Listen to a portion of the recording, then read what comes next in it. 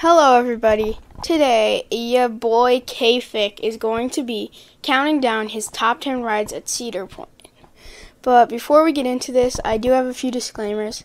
I did not get on Corkscrew, Blue Streak, Cedar Creek Mine Ride, and Top Thrill Dragster because this dragster was closed and the other ones I didn't feel like waiting for.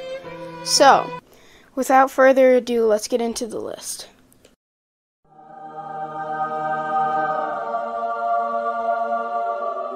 Next up on our list, we have the one, the only, the great Woodstock Express. I mean, this ride is just so good. Okay, I'm kidding. It's a kiddie coaster, but like, it's a decent kiddie coaster. Um, I'm not sure why I wanted to go on this in any way, because um, it was like my one trip to Cedar Point, and I decided to go on this instead of Blue Streak. But me and my friend rode it for like no reason, but it was okay.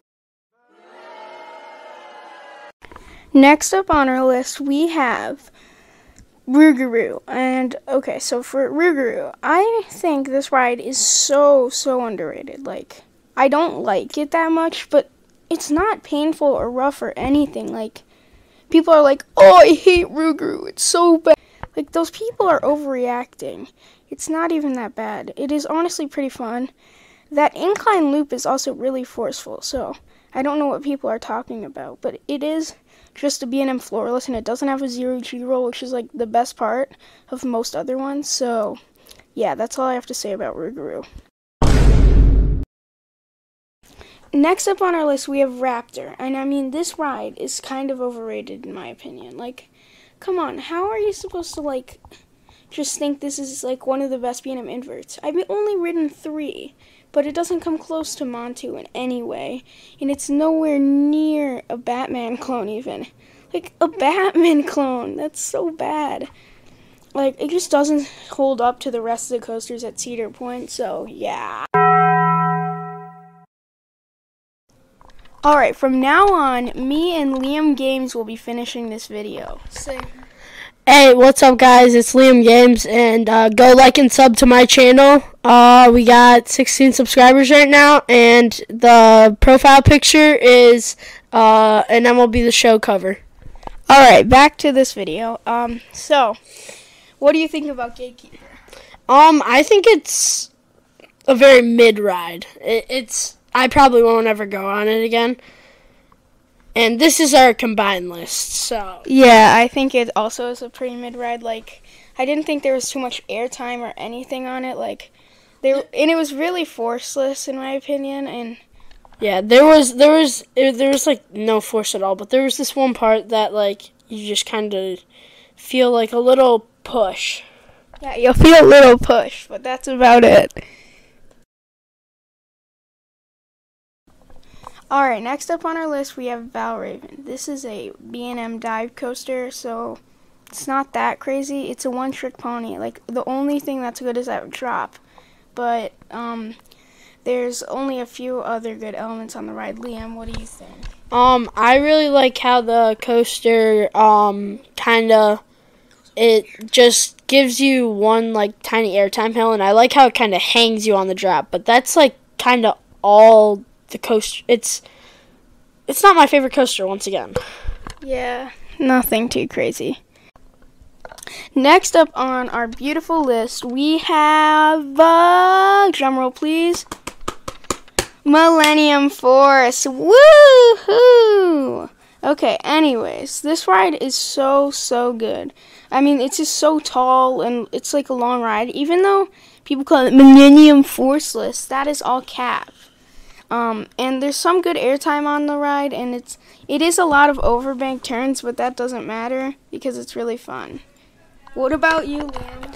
Um, I feel that it is forceless. Well, some people have wrong opinions. Alright, folks. Um, next up on our list is Magnum XL200. Now, this ride just looks beautiful on the shoreline of Cedar Point, and it doesn't look like it would give that much airtime, but I like the sound of the lift hill, so that's good. And the first half is like a smooth little hyper, and then you get to the second half, and it's like, oh, ah, ooh, like the airtime is just insane. And I'm sure Liam would agree with me on everything I say. I do and don't. I think it's beautiful on the shoreline, but I think that once you get to the end of the coaster, that's that's all that's good. The end of the coaster. I think that Millennium Force is a better coaster in like overall. I just like the 300 foot drop on that, but um, I I don't really like this coaster overall, but it's beautiful on the shoreline. Next up on our list, we have Maverick. Now, this is the itty bitty, only like a hundred foot tall coaster, but it is like more intense than like Millennium Force, which is like 300 feet. But that doesn't, size doesn't matter. Um, anyways, like this ride has a crazy first drop and a ton of airtime on that first drop, and then the launch in the middle of the ride is so powerful, and the transition out of it is so powerful. It's just like, ooh. Uh, yeah, and please stop making that. Ugh. Okay, but I like the launch a lot. I think after the first drop, you get a ton of airtime. Like, it's almost like, ooh. But that's all I got. I'm a Barbie. Oh, whoops, whoops, wrong place. Anyways, what are you doing? whatever. Next up, we got Steel of Vengeance. I'm gonna start us off here. Um, this coaster is like ooh ah. Caden, don't you dare say that. But um, okay, so I love this coaster. It's it might be the best coaster in the world. Um, that I've ridden at least.